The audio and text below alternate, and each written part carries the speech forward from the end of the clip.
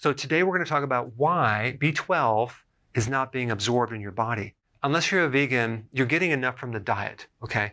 But the problem is usually the absorption, not from the diet. Here are a few symptoms that a person can experience if they're B12 deficient depression, paranoia, delusional, dementia, memory loss, pins and needles or numbness in your hands and your feet or any part of the body, anemia, swollen tongue, red tongue, fatigue, weakness, and tremors.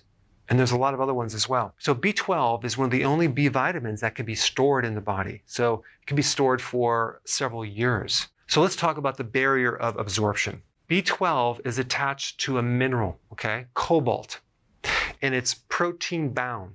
So to break this up, you need a very strong protein enzyme called pepsin, which happens to be triggered by acid in your stomach.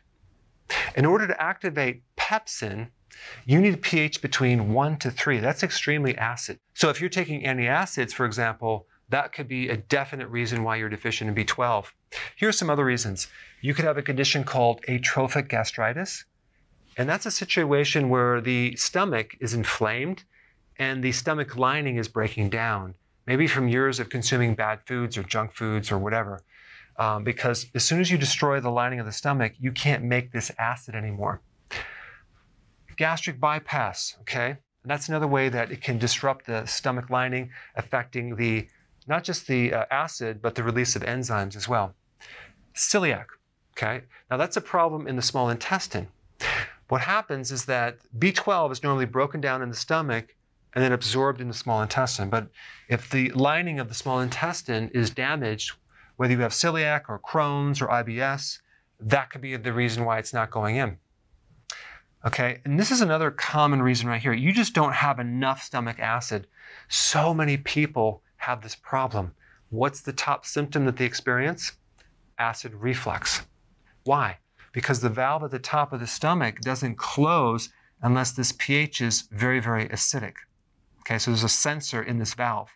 And then the acid starts splashing back up and you get GERD or acid reflux, and you think, oh, wow, I need an antacid.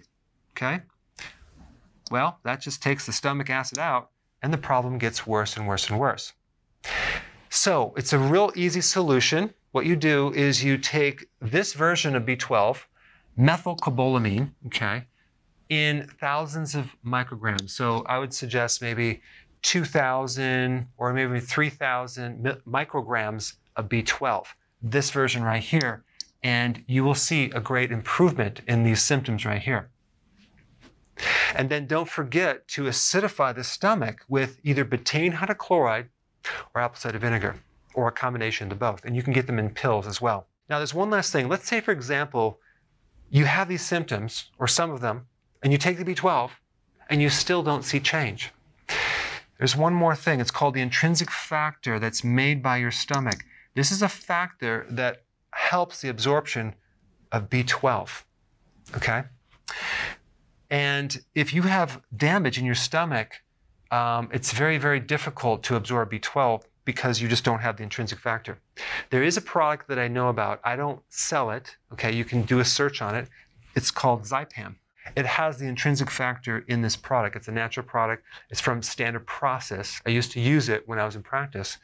But if you do a search on Zypan, okay, and you start taking this, uh, it also has betaine hydrochloride to help acidify the stomach. Um, that can help the absorption of B12 as well. All right, guys, thanks for watching. Hey, before you leave, I just wanted to give you a little quick history on some of the books that I wrote. This was one of the first books. It's called Dr. Berg Body Shapes. It was my attempt at um, writing about body types. Uh, what was very interesting about this book is I actually did all the images myself.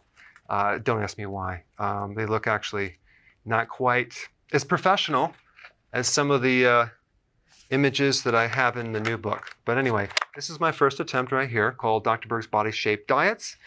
Uh, and then I wrote a book um, more extensive called The Seven Principles of Fat Burning. I don't even have a copy anymore, actually, um, because it's outdated.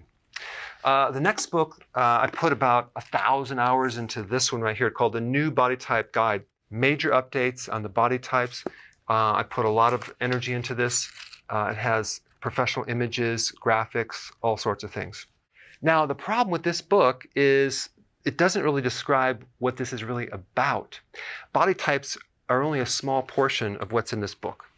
And that's why I changed the name to the Healthy Keto Plan. Okay? If you happen to have this book, you don't really need this book because there's some only very, very minor updates. But if you don't have this, you need to get this one right here. Um, this book goes into every single detail that you would ever want to know about. It goes into the seven principles of fat burning. It goes into hormones, uh, the body types, the basic keto plan. It goes into intermittent fasting. I talk about the 10 fat burning triggers and blockers and fat burning strategies with a lot of details in every single chapter. I go into body issues that interfere with losing weight. Um, there's very few people that just have a weight problem. They have a lot of body issues, whether it's sleeping problems, uh, stress problems, inflammation, menopause. I cover that extensively in this book. Then I talk about how to get rid of stress, and I show you a technique. Uh, then I get into exercising. And then I have a lot of really good recipes in this book as well. So uh, this is a good reference guide. Um, on my website, if you get this book, you get this one free. It's called Healthy Keto Intermittent Fasting. This is the shortcut, uh, quick guide to this book. And uh, the reason I created this book is to have you, within 45 minutes, learn how to do keto, okay, in intermittent fasting, exactly what you need to do. Then you can fill in the blanks with this book right here. So right now I'm doing a special. If you get this book, you get this one totally free, or you can go to Amazon and get these individually.